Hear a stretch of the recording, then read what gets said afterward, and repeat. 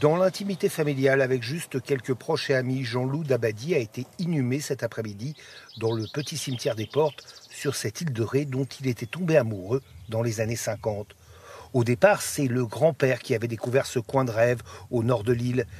Dans un livre consacré aux portes, il avait raconté cette histoire. Depuis son enfance, il est venu avec ses parents, il le raconte d'ailleurs dans, sa postface, comment il a découvert euh, euh, les portes. Euh, en finalement avec une, roulotte qui était tractée jusqu'ici et qui s'est enlisée dans les chemins de sable puisqu'il n'y avait pas de route goudronnée ici, du moins dans cette partie de, de la commune. Il y racontait aussi les filles, les balles à la salle des fêtes et les bateaux, comme le Casavant Rétais qu'il chérissait tant. Plus tard, il se fera construire une maison ici aux portes dans les années 80. Il venait s'y ressourcer, peaufiner les textes de ses sketchs, de ses chansons, de ses scénarios.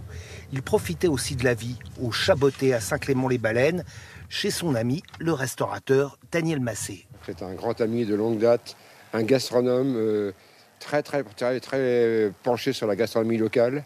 Il aimait les produits simples, les vrais produits, et pour lui, c'est cette île, ce bout de l'île, ce nord, c'était sa, vie, sa passion. Euh. et puis chez nous, ben, il mangeait la mouclade naturellement, euh.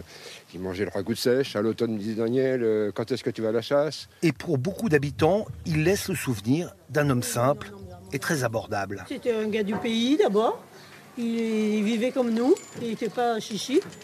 Tout, tout simple, tout gentil. Il était très ami d'ailleurs avec les bécaires, les gens comme ça qui sont là. Il repose maintenant en paix, tout près de la mer, tout près de certains amis. Il écrivait en 2005 comme si après la douceur de vivre ici, nous imaginions la douceur d'y mourir du Dabadi.